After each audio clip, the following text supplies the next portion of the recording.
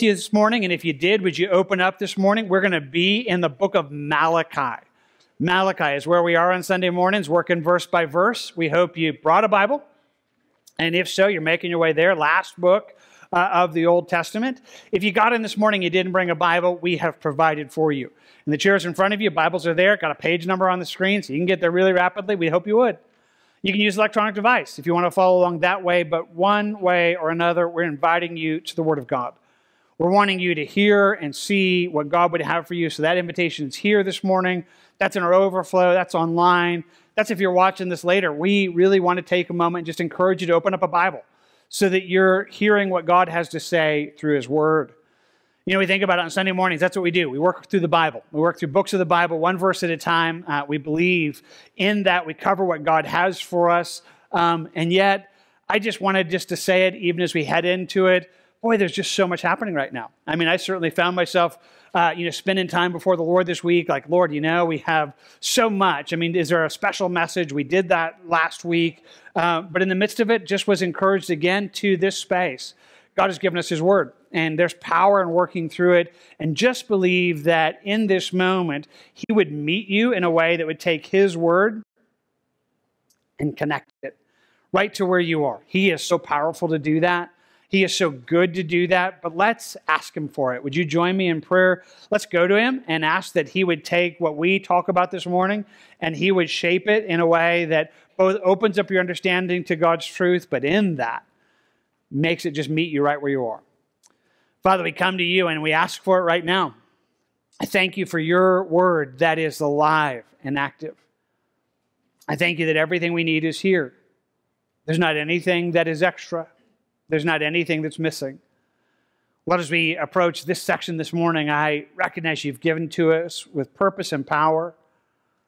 I ask that that would work into us, shaping us, helping us, forming us. God, you gave this to us, so help us to understand what you're saying. But in the midst of it, Lord, would you speak to your people right where they are?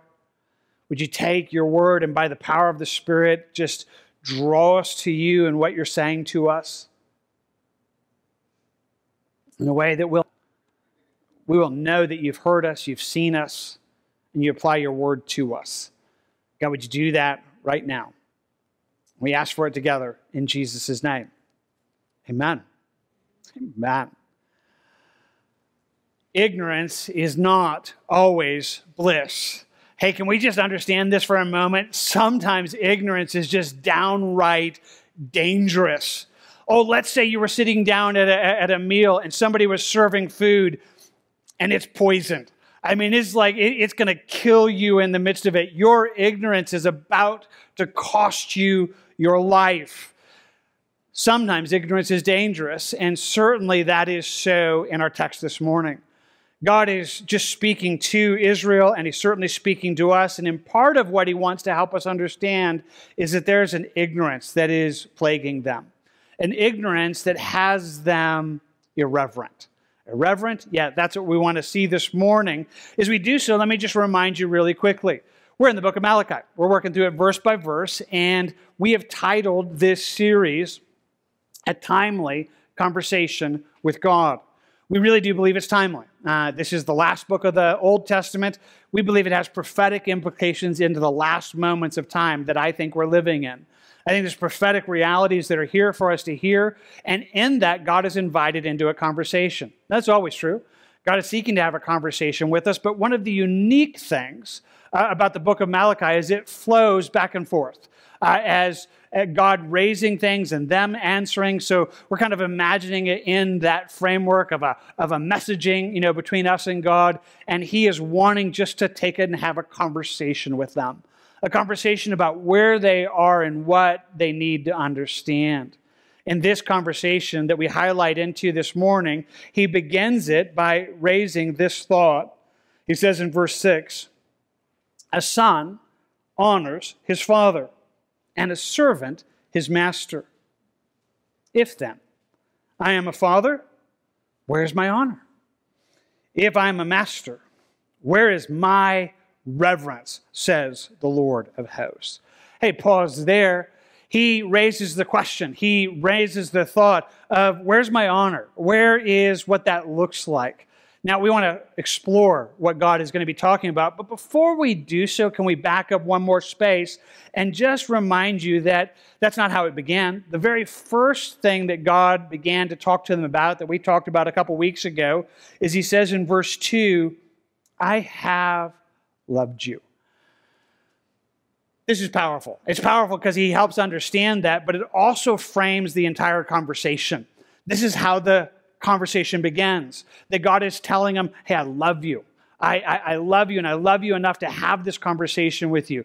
Why is that so needed? Well, if you don't keep this in your thought, you're going to hear this conversation that God is going to have with them, with us, and you're going to think God's having a bad day. You're going to think he's mad. You're going to think he's just, oh, he's, he's really upset. He's not. The tone of his voice is like, I love you. And I love you enough to have a conversation that we need to have. I, and the reason I'm talking to you about it, God is saying, is because I care, because I absolutely do love you. I hope you would hear that this morning and you would hear it in the midst of the conversation. Okay, well, let's come back to it. So God begins it, and he does so really, really just simply. I mean, he just reasons with them in the most simple, easy framework, not impossible, really easy for all of us to understand, right? He just raises this idea where he says, okay, in our world, verse 6, a son honors his father. I mean, it's supposed to be that way. Many times it is. Kids, you know, have respect for their parents, uh, servants their master, employees their bosses. I mean, there's a respect that should flow there. By God's grace, it should. But then God just asks, so if I am that, if I'm a father, and he is, if he's the master, and he is, where's mine?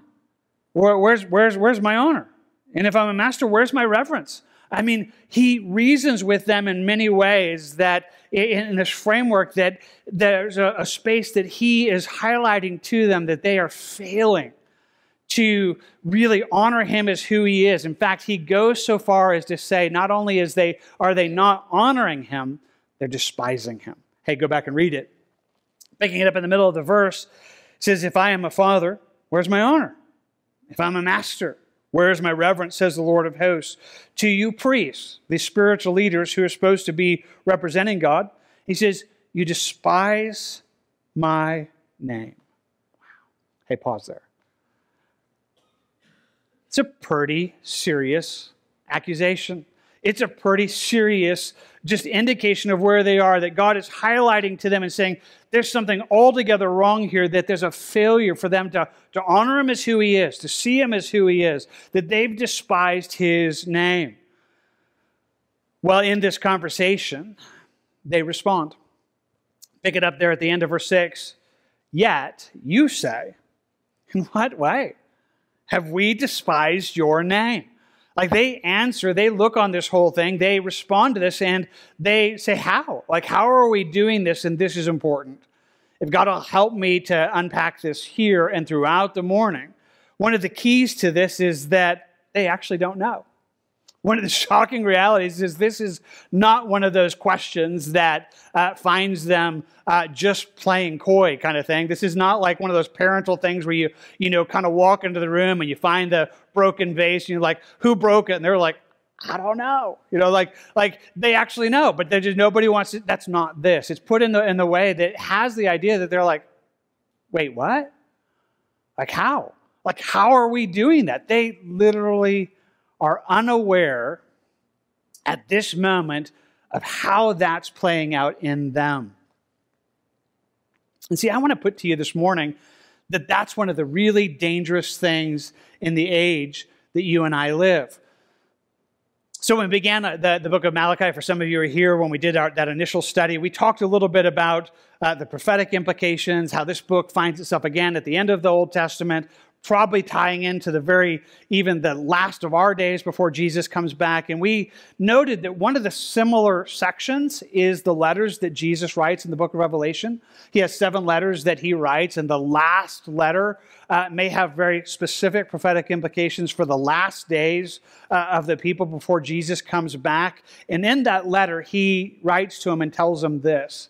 He says, Because you say, I am rich, have become wealthy, and have need of nothing, and you do not know that you are wretched, miserable, poor, blind, and naked. They're ignorant. Uh, that's what Jesus is saying. He says, You don't understand.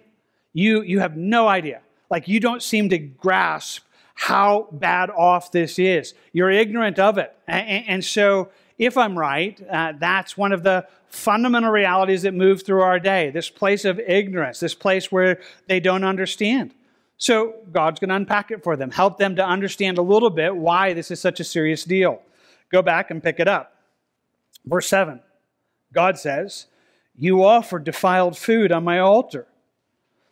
Pause there. I mean, he's saying, Here's the thing. One of the things you're doing is you are bringing to me food or sacrifices, that which they would do. And he says, It's defiled. Uh, it's unacceptable. It's that which is which God would look upon and find it completely unpleasing. But again, they ask the question, in what way have we done that? In what way have we defiled you? I mean, how has that happened? Where, how has that actually been in the midst of that? And it's worth noting, they understand it's against him. I mean, even in the midst of it, because God had said, You're defiling my altar. And they said, So how are we how are we doing that to you? What are we doing that has us with that kind of disrespect, with that kind of dishonor? I mean, they really don't know.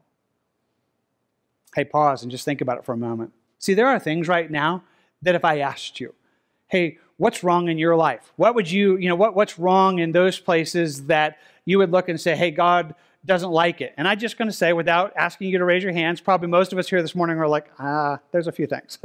there's a few things I know God's working on.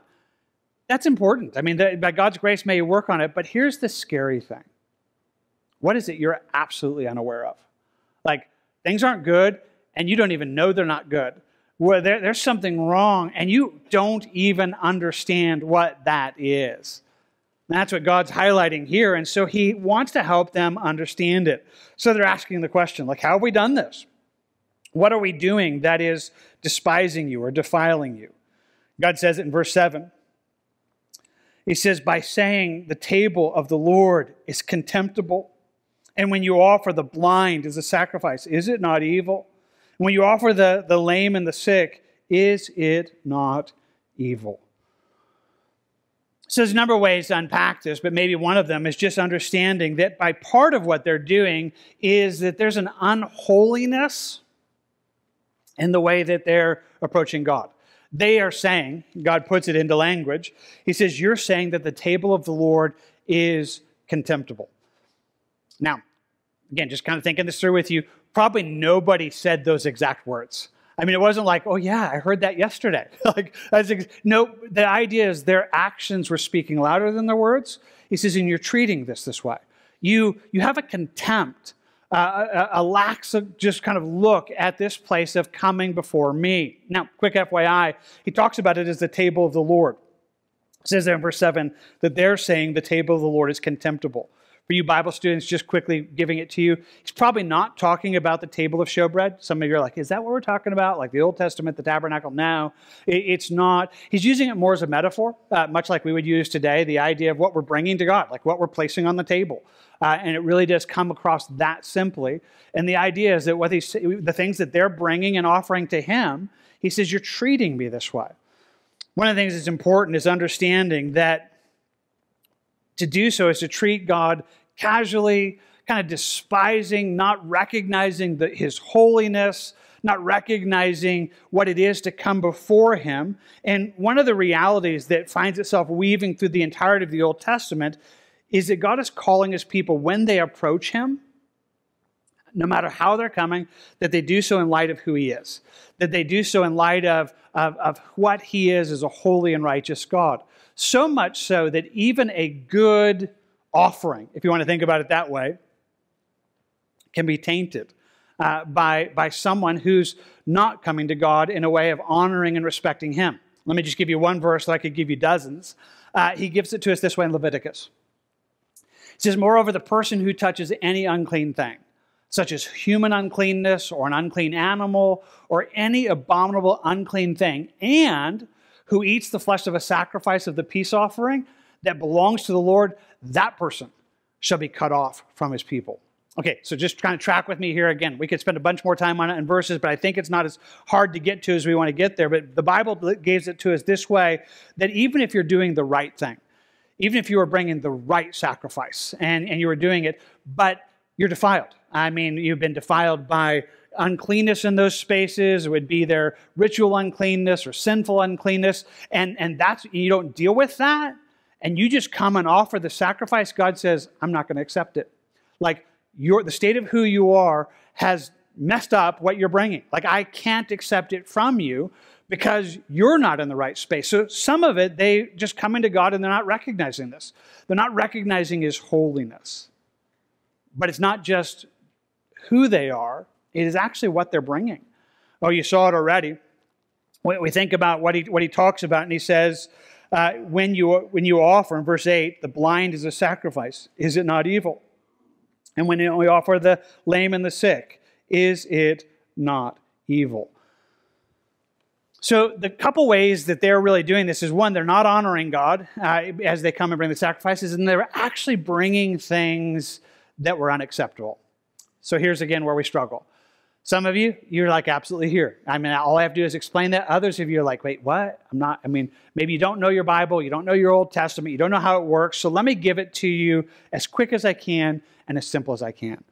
Sacrifice is in the Old Testament. If you were to bring a sacrifice to God, it was meant to be unblemished, it was meant to be perfect. For example, just Leviticus would say it this way You shall offer of your own free will a male without blemish. That's important from the cattle, from the sheep or the goats, uh, whatever has a defect, no, you're not going to give that to God. You're not going to give that as an offering because it will not be acceptable to give that to God.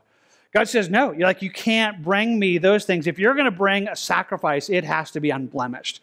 Lots and lots and lots of reasons for us, but let's just begin with the biggest because if we can get it here, it'll help everything else make sense. It all pictures Jesus.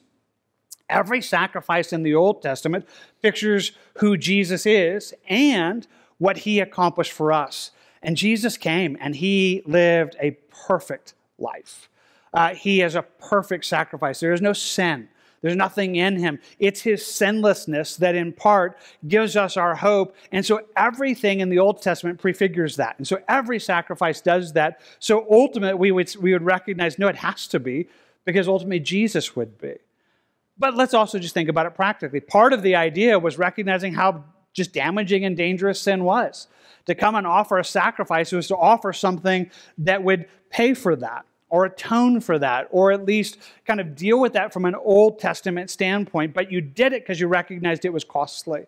You did it because you recognized God was altogether worthy and that you were bringing Him was to be an expression of that. So it flowed through the entire sacrificial system.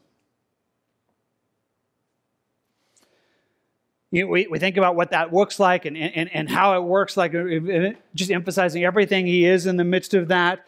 And we would just look at the other side of it to give God the other, which is what he's accusing him of the lame, the sick, you know, the, the things that, that, that would be that way. It is to give to God just that which is unwanted, that doesn't cost us anything to give God that that would be in a sense of, of, just bringing that to God that you had it had no good in your life. I mean, again, I know it's hard to even maybe imagine, but you can try to, if you will, imagine with me, you know, a shepherd that has his sheep and he gets one of these sickly sheep that really is going to be good for nothing. I mean, he can't really take care of it. Uh, it's not going to be something he can sell. Not going to get a lot of money after. He's like, just give it to God.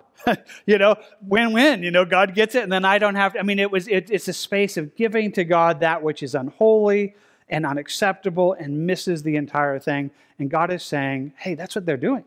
They've literally just dropped into a space that at this moment in history, when God writes it through Malachi, I mean, things have fallen into such a space that this is where it is. Now, it shouldn't have been. I mean, I think that should be clear. In fact, it was one of the callings of the Levitical priesthood and the Levites in the day. This was supposed to be their job.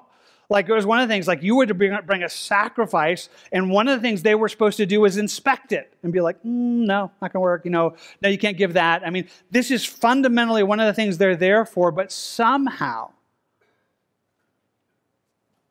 it's fallen into such a space that they're like, fine. like, at least you brought something, you know? And, and, at this moment in history, it's there. Now, again, I, I try to imagine it and maybe spend just a moment on it, though we could spend a lot more. I try to imagine how they got to such a space, maybe how the conversations would have looked like. For you guys who are with us in that first week or have an understanding of where we are, much has happened.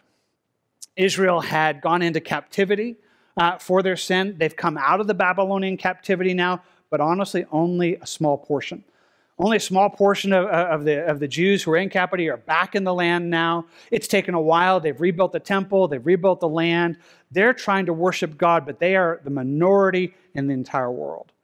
And in one sense, I can almost imagine the conversations, you know? It's like, hey, It'd be great if I could give more, but this is all I can give, you know? I mean, and maybe the priests are like, hey, at least it's something. like, I mean, at least somebody's bringing something, you know? I mean, this is, you know, you know, I mean, if, if we if we really held that high standard, I mean, we we'd have to, it would do nothing, and you know, we have to walk where people are. I mean, we have to kind of, you know, be relevant into the to, to those spaces, and we have to kind of accept this, and maybe somehow they have talked themselves into a space that they find it to be acceptable, but God does not. In fact, as he's giving it to us, he just brings it back to them, and he's again just reasoning in the most practical way. And he says it this way in the middle of verse 8. He says, Offer it then to your governor. Will he be pleased with you? Would he accept you favorably, says the Lord of, Lord of hosts? He says, I'll tell you what, try treating you know your governor the way you're treating me take him this blind this sick this lame you know animal and find out if he would find that to be acceptable now, again, if you have any kind of imagination, uh, it's just kind of fun to think it through. Could you imagine it? Like somebody's doing it, like, you know, they, they get invited into the, you know, most powerful person in the land at that time, and they're going to cook them a meal. And so they decide, hey, I've been wanting to get rid of that lamb. You know, he's a sickly little thing, you know, and yeah, and they decide to cook it up and they do it and they they do it out there, but the meat's kind of green, you know, and it's kind of like a little bit, you know, you know, a little, and they're like, hey, it has cancer, but you know, it's you're probably going to be fine. You know, I mean, really, you know, go ahead. you know, just thought I would give you this. I just want you to try to imagine how well that would go over in a moment. I mean, even in that day, it would have been like, um, you're dead. Like, off with your head, in prison. I mean, I don't know why. It would never fly. Nobody would do that. But that's how they're treating God. They're treating God in a way that has lowered the expectation and has lowered uh, just this realm of what that looks like. And, and, and God says, you, you are dishonoring me as you do this. Okay, pause. Let's think this through for a moment. So maybe you're listening to me this morning and you're tracking, or maybe you're like, Jim, what in the world does this have to do with us? Like, we don't do that. I, I, don't bring lambs. I don't bring, you know, goats. I don't bring sacrificial things. So this actually has nothing to do with this, right? Well, it is all fulfilled in Christ. But the Bible does say that we still do this. It tells us in Romans that we bring our lives as a living sacrifice. The Christian's life is as if to say, God, this is for you.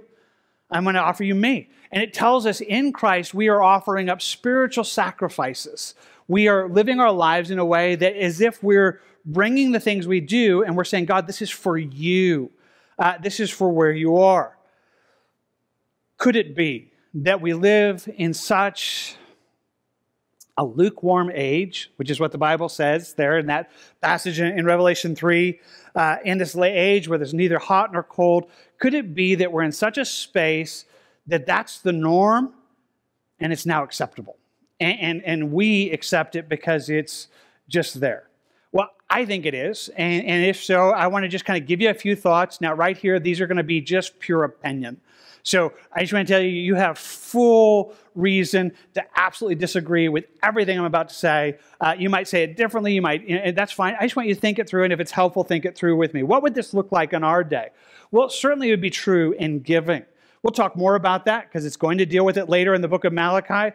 But we live in such a space that for the majority of Christians in our world today, uh, they don't. Uh, they don't. They don't give. They don't give consistently. They don't give appropriately. Most Christians tip God. Uh, they just give God a little bit, you know, I mean, kind of whatever that is. And there's just this space that God says, really? Like, that's honoring me? Wow. I mean, could you imagine this in the same conversation? Like, treat the IRS like that and see how it goes over with you. You know, send them, hey, here's 20. It's all I could do, you know, but we're good, right? I mean, like, that's going to, like, the IRS can be like, yeah, well, thanks. No, they're going to be like, oh, you know, we're, you're in trouble. Like, we're going to take out, you're going to take, we're going to take everything from you and more. I mean, it would never fly. And yet in our world, we're kind of like, hey, you know, you, you know, God, he's kind of cool with, you know, just whatever we can do. And, and we have this low space. Think about it in church attendance. Now, I'm, I'm probably stepping on toes, so let's just be clear. We're talking about the first service. You guys are good. Just kidding. No, I mean, um, so uh, no, I really don't want to. I just want to say, I just want you to think about where we are in our world today. And church attendance has become something across the nation, specifically here in the United States, something that's very, very different. Now, as I say this again, full grace. Hey, there's reasons at times where people can't attend. Uh, there's reasons where people are sick and unwell. If you're online right now, there is just no condemnation if that's on. I mean, you're like, I can't attend. I would attend. Full grace. That's grace. But here's the deal. We live in such a world that for most Christians, church attendance is sporadic and occasional. And most of the time, there's really not a good excuse. Uh, most time, it's more like, hey, there was a game on, you know, wasn't really feeling it today, kind of had a headache, uh, you know, just wasn't just in, you know, I mean, just, you know, we thought we'd take a drive, you know, kind of deal. So here's how it works, even for our church. Again, just trying to speak as clearly as I can. See, we have enough people that attend this church regularly uh, that we know come. If everybody shows up on the same Sunday, we are in so much trouble. I just want you to, I mean, I just want you to understand that. You might not know that. You may, you might be thinking, hey, this is, you know, you know, but here's the deal. If everybody were to pick the same Sunday to show up on, we could probably fill three services uh, and, and, and, and, and have every chair filled. But you know what? It just never happens. It just never happens.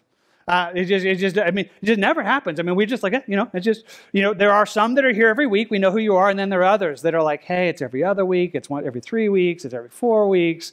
Uh, and it just kind of moves in such a space. And so, we, but, but here's where we are. From, for some of us, we're like, but that's really good like we're doing great like we, are doing fine you know and, and, even though our you know our, our, our, focus on god what we're giving him costs us so little it's so, you know, and if we could use the same kind of metaphor that God was using, hey, try that with your boss. Go to your boss and be like, hey, you know, I'll come in about, you know, every other day, you know, kind of when I feel like it, you know, but if I have a headache, you know, it's probably not going to happen, you know. And, uh, you know, I felt like taking a drive today, so I just thought I wouldn't come into work, you know. And uh, just, you know, I mean, if we treated our, I mean, like you wouldn't have a job. And, and God's like, you don't even treat me as good as you would treat your boss. Like you treat me less than you would treat the most natural people. Okay, so just track with me more. Let me just keep kind of rifting across these things. What about even number of services? So you probably are aware, but most churches in our land in America today only have one service a week. Most churches have gotten down to they only have a Sunday morning. Now we have a Wednesday night and we have a Sunday evening prayer meeting, eh, but that's fairly exceptional. And yet here's the thing. For most people, they're like, that's amazing. Like if I go to church once a week, that's a big deal. It just hasn't always been this way.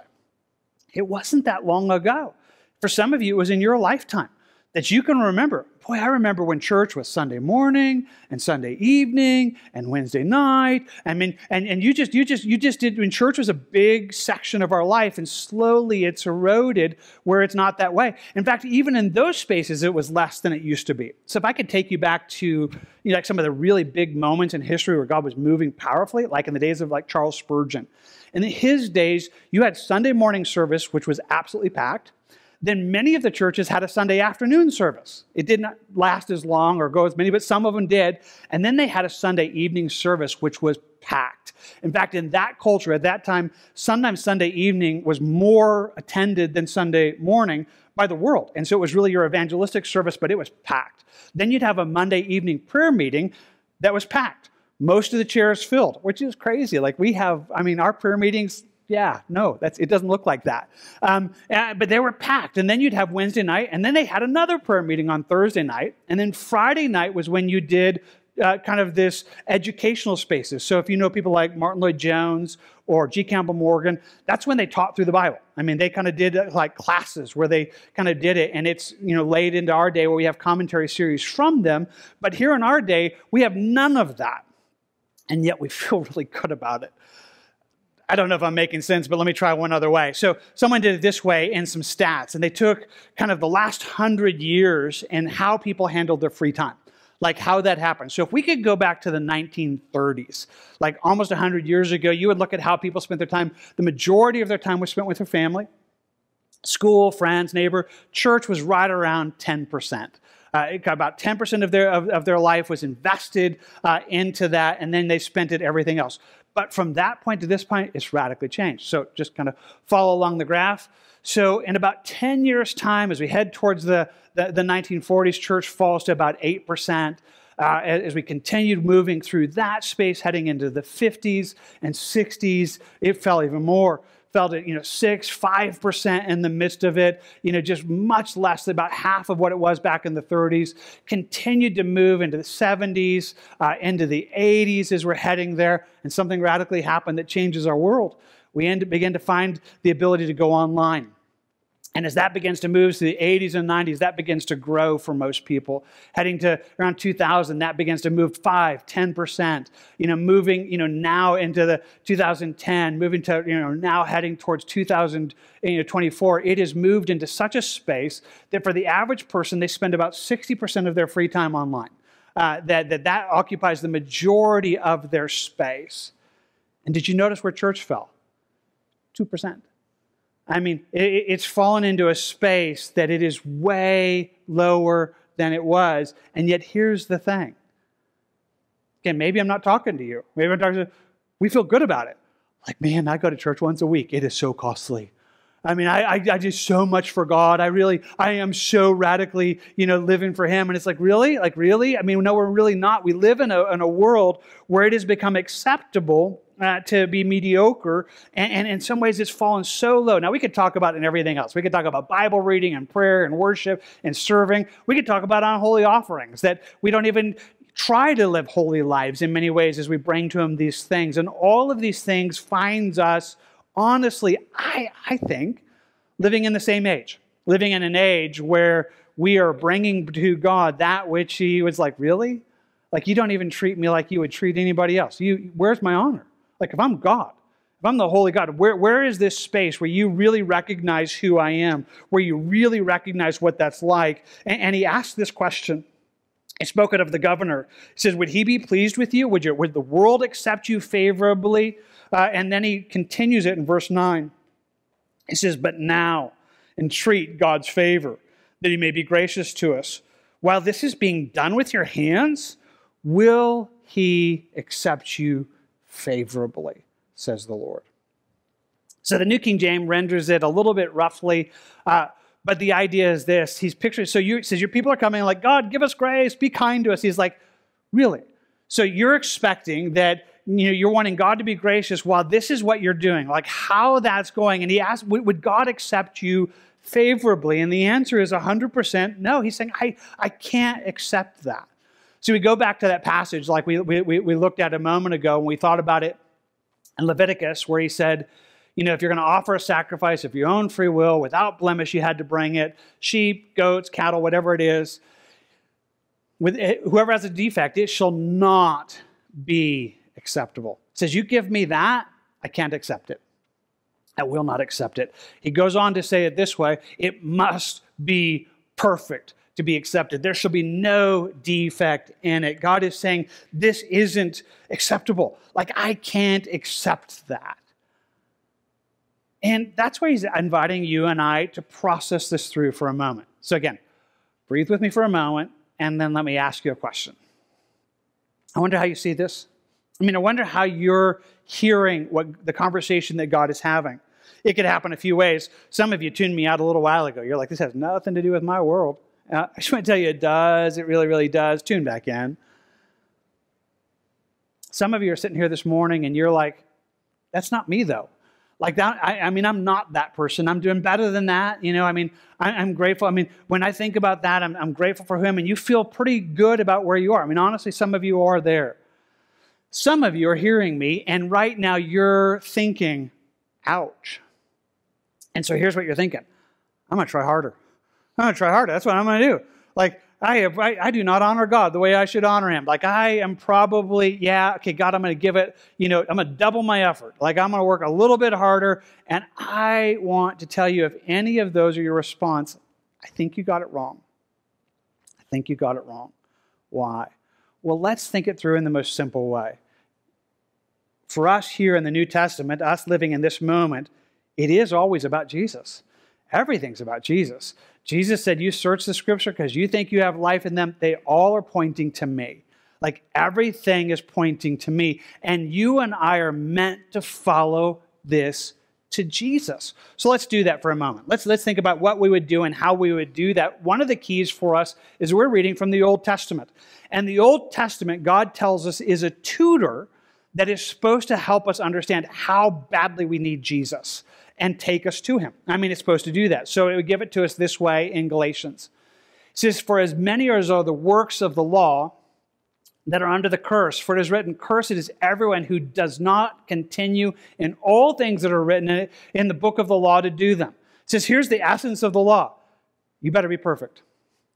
If you don't do all that God is saying, if you can't do all of this, hey, God's curse lands on you. In fact, he goes on to say, is the law, the Old Testament, what we're reading in these places, against the promises of God? I mean, is this kind of arguing against who God is and his faithfulness? No way, certainly not. Scripture has confined all under sin. It's made us so that we recognize, oh man, I'm in trouble. Like, we're all under sin. Like we are so much there, so that the promise by you know, by faith in Jesus Christ might be given to those who believe. That's meant to draw us to Christ. He says, therefore, the law was our tutor to bring us to Christ, that we might be justified by faith. He says this was given to us like a tutor. You guys know what a tutor is, right? That's where you were struggling in school. Uh, you know, and you, you know, couldn't seem to pass your math class or whatever, and they cut you a tutor that sat down with you personally and said, "Let me help you." Like, let's get you up to speed. And so here's the Old Testament that wants to take you by the hand and says, kind of, let me, let me, let me take you to Jesus. Like, you need help, and I need to, I need to show you how much you need help because you don't get it. Like you, have, you don't understand how badly you need Jesus. So the Old Testament, part of its thing is to absolutely teach us of our entire desperation upon Christ. Now that's true for the entirety of the Old Testament, but as we're here in the last book of the Old Testament. It really is the key. I mean, the Old Testament ends with the book of Malachi, and Malachi is gazing forward to the hope that's only found in Christ. I mean, it's so much of this book points to the promise that we need a Savior. It is towards Jesus' first coming, but also a second, that we're looking to Jesus and we're saying we just need Jesus. And so, partly what He just did for us what the intention of this message this morning is, in one sense, just to help us understand God's holy standard undoes all of us. I mean, not just a little bit, entirely.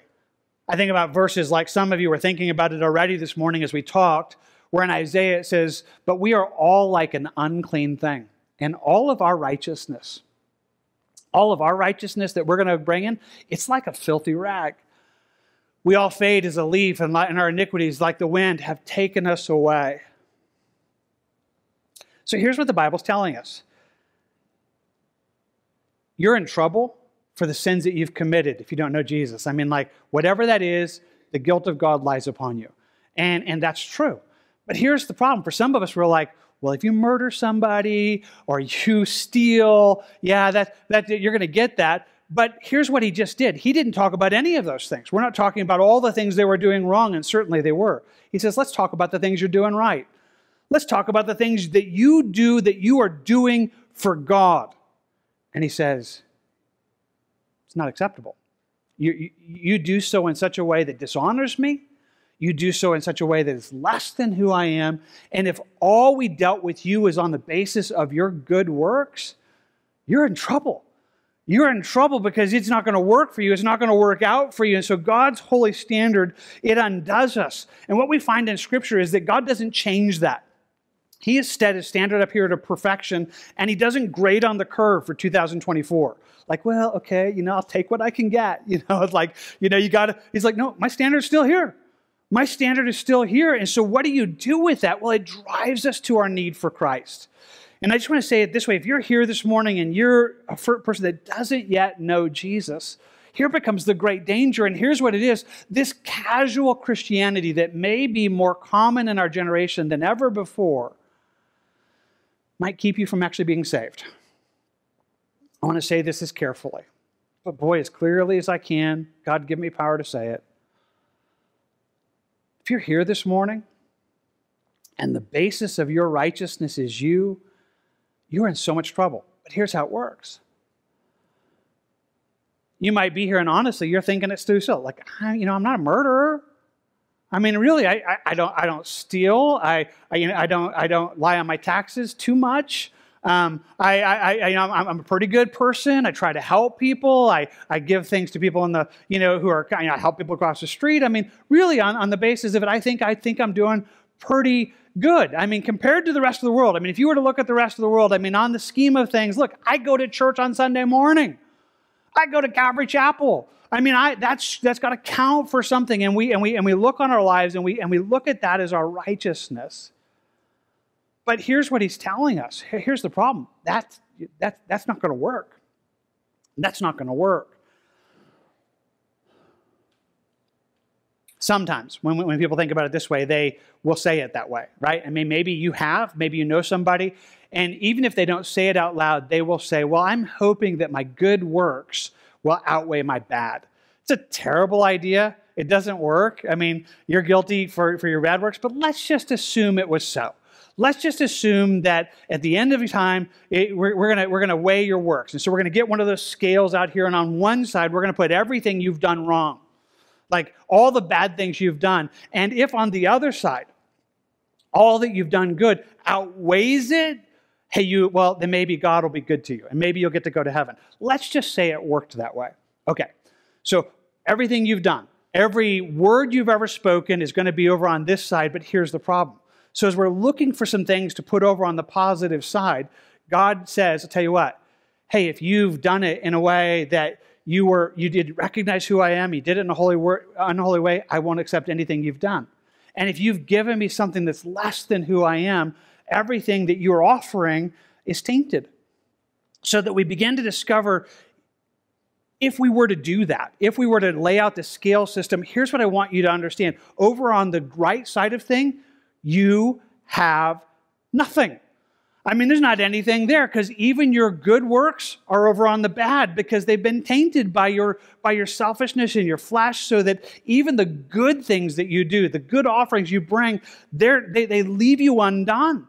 And so the gospel is telling us hey, we, we, we need to see this so that it helps us understand how much we need Jesus. Jesus said it this way He says, Why do you call me Lord, Lord? And you don't do the things I say. You say I'm your master, but you don't treat me as I am. You don't listen to anything I have to say. And he says there's going to be a generation of people who are going to come before him in that day and they're going to say, Lord, Lord. And he says, Then I'm going to tell them, I never knew you. Depart from me, you who practice lawlessness. It is to me one of the most terrifying realities that exists. There's a group of people, and maybe in this generation, a lot of them, who think because they go to church and they call God Lord, they're going to make it. Well, like, you know, I'm a pretty good guy, pretty good girl. I, I try to do good. I even go to church. I do some things. And guys, I say, but I didn't know you. Did you think it was about your good works? I mean, I've invited you into a relationship with me because that's the only way this is going to work in Ephesians, when it talks about the gospel, tells us that we've been predestined to adoption as sons by Jesus Christ to himself, according to the good pleasure of his will, to the praise of the glory of his grace, by which he has made us acceptable, accepted in the beloved. Hey, that was the question that God asked. He asked it twice. Will you be accepted? Will you be accepted if you're going to stand in, in what you've done? And here's the answer no, you will not. But the only way to be accepted, and you are accepted, is if we come to Christ, that we recognize it's Him that we need, that we're driven to this place where we'd say, you know, I, I need Jesus. I mean, I'm, I'm in trouble. Like I'm in trouble not just because of the bad things I've done, but I can't do good things. I can't do anything without it being messed up. I, my selfishness, my sinfulness, it taints everything so that I'm driven to my absolute need of Jesus. Hey, with all my heart, I just want to tell you, it's just you. We're pleading with you. Again, the, the dangerous thing is that for some of you, you have a quasi righteousness that in this world looks exceptional. I mean, you're like, I give 2% of my time to Jesus. like, I'm really, really amazing, you know, and really compared to everybody else, you might be. But you're not. You're, you're in trouble. You're, you're in trouble for everything you've done wrong, and for even the stuff you've tried to do right, it leaves you undone. And if you didn't know how much trouble you are in, part of the book of Malachi is to say, You're in so much trouble. Like, I mean, you're, you're in trouble for all your, I mean, just on your good stuff, you're in trouble and you just need Jesus. I mean, you absolutely need a radical relationship with Him. And, and if that's you this morning, we're just doing everything we can to say, I hope you get it. And I hope you come to Him. But it's not just for unbelievers, right? I mean, part of this whole thing is he's talking to people who are supposed to be his people. He's certainly talking to us as his people. And the danger is the casual Christianity that we live in leaves us in the same space where we kind of look at what we're doing and again, we still kind of, well, you know, I'm a pretty good person. I try. I mean, surely God's going to be okay with that. And somehow we find ourselves thinking we're doing better than we are. I go back to that passage in, in, in Revelation where Jesus says, you know, but you say, I'm rich, i have become wealthy, I have need of nothing. You don't know how wretched, miserable, poor, blind, and naked you are. I mean, he just tells us, hey, that's the problem. And here's where I want to try to say it again. Hey, we live in that generation. And the scary thing is not the stuff that you recognize that, that's wrong, it's the stuff that you don't. Uh, you know, again, if I were to ask you, like, hey, what's wrong? Like, what, would be wrong with your life that God would say, I'm not comfortable, I don't like that, let's forget that, let's cleanse us, let's deal with it. There's a lot. may deal with it. But what about you don't know? I mean, what about the spaces where you feel okay. Now, you might never say that. Probably you wouldn't come here this morning and say, I'm rich, wealthy, I've need of nothing, but you might say, I'm good. I'm fine. You know, I'm doing pretty good. Things are things are all right. I'm all right. It's kind of the same thing. I mean, it's this place where you don't realize how much you need Jesus. You, you need Jesus for everything. You're, you're, you're such a mess and you are so broken that you desperately, desperately, desperately need Jesus. Jesus said it this way He says, I'm the vine and you're the branches. He who abides in me and I in him, you could bear much fruit. Without me, you can do nothing. Nothing? Nothing. Every good thing you do outside of him, it's unacceptable. It's impossible. And part of the problem is that we hear it and maybe we don't believe it. I mean, here's the thing you need Jesus so much. I mean, you need Jesus for everything. I, you know, I, I, need thee every hour. Every hour I need thee, you know, kind of thing. Like, Lord, teach me that I that I need you to I need you in moments. I need because I, you know, I can't do any of it without you. I am so tainted and broken. I am desperately in need of Christ. But that's what he's inviting us to understand this incredible space that we'd come. And if you would get there, you would join the Apostle Paul, who sees the same reality. And he says in Romans 7, Oh, wretched man that I am, who will deliver me from this body of death? I thank God. This is Jesus Christ our Lord. He says, I'm in so much trouble wretched man that I am. I, I, I, can't do anything. I can't do anything right. I can't do it in my own strength. Where am I going to go? I'm going to go to Jesus. He is my answer. He is my salvation. He is my forgiveness, but He is my enablement. I need Him so much. I, I need Him so much. And so, part of what's meant to be happening here is that we're supposed to be understanding how much we need Him. Maybe you do. Maybe I'm saying something that really doesn't apply, but I, I think it does. So let's try it another direction. I'm worried that we find acceptable so much less. And we would be content with so much less. Let's just think about it for our nation for a moment. So, we have an election in a couple days. There's going to be a president elected. I voted. I hope you have as well. I think you should. We should pray and ask God to, to, to put into office whoever He has. But then I want to say as kindly as I can I'm concerned that no matter which way it goes, it's not going to go good for us. It's not what we really need. That, that, that what we really need is a revival. What we really need is people turning to Jesus. Uh, it, it's not going to work. If we could legislate some morality in our nation, we're still in trouble. So let's just imagine. Again, we're just playing make believe for a moment. Let's say in the next four years, we had a radical turning uh, towards morality in a couple ways. Like maybe we really did push through and we made abortion illegal across the entire United States, except for the exceptions that, that might be in there. Hey, we could talk about those, but hey, let's just say that it became just patently illegal everywhere. I mean, for some of us, I mean, that, that's just a, a, huge deal. We think of, man, that's one of the things that marks us as a nation is that abortion is legal. And you're right. Let's just say we could get rid of it. Let's say we went further and we really did incredible things to, to, to stop human trafficking. And, and, we really did some incredible things to deal with, you know, drugs coming into our nation. And, and we fixed some of those things and in some pretty incredible ways. Would we then be acceptable as a nation? No.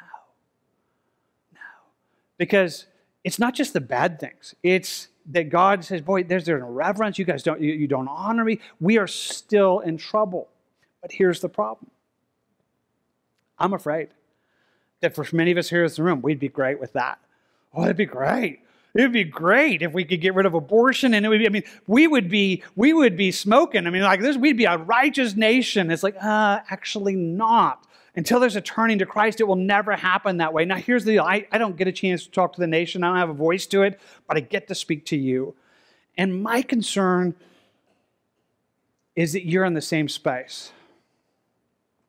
Some of you are struggling with some things here this, this morning. Just, just right you are. Maybe you're struggling with anger. Maybe you're struggling with jealousy. Maybe you're struggling with lust. Maybe you're struggling with an addiction of some kind. Maybe alcohol or drug. And, and if we could get rid of that in your life, and by God's grace, He can. I just want to tell you, He can. He fixes those things. But I'm convinced that for some of you, you would be happy if you just stopped doing that. And you would be convinced that you would be like, that's, all, that's the only thing that's messing me up. I mean, like, if I could just not be that way, God would be like so happy with me. And he's like, actually not. Um, because, you know, if you're thinking about how you see me, it's not you, everything is tainted. You, you need me, not just to deal with the bad things in your life, you need me for everything.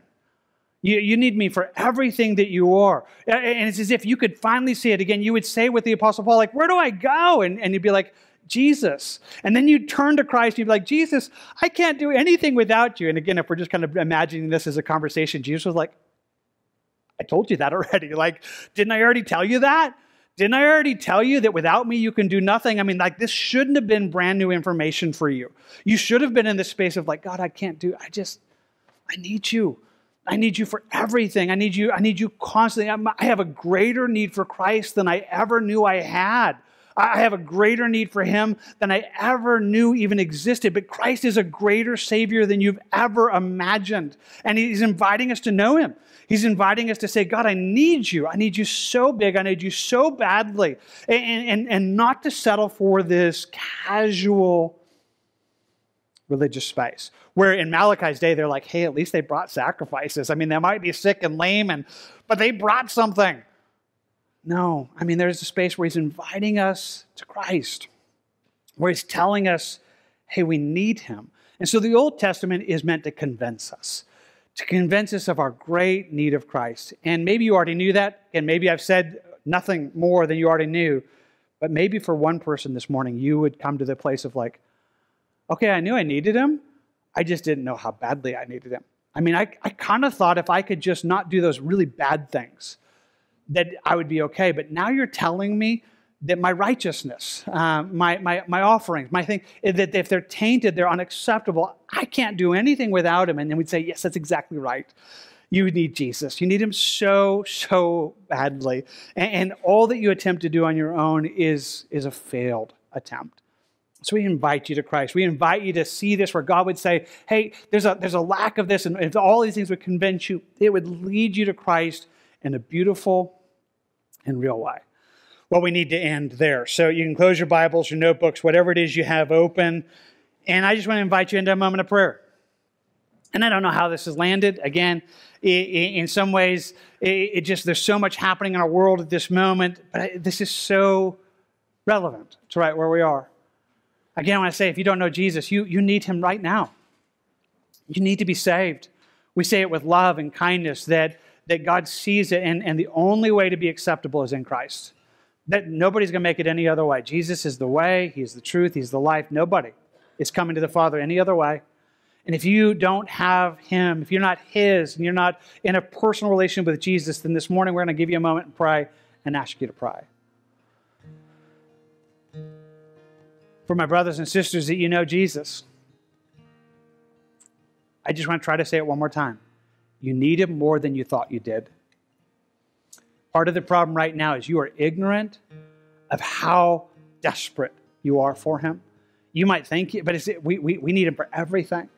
And sometimes we just have to have that kind of the, the light pulled back and say, here we just look upon these things and just show us how badly you need him.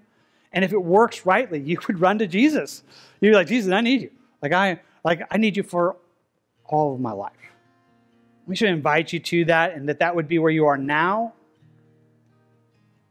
And that he would invite you into that space. Would you take a quiet moment, just talk to God about that just for a quick second? I'll do the same and then we're going to close in worship. But just wherever that's landed, just talk to God about what He's talking to you about.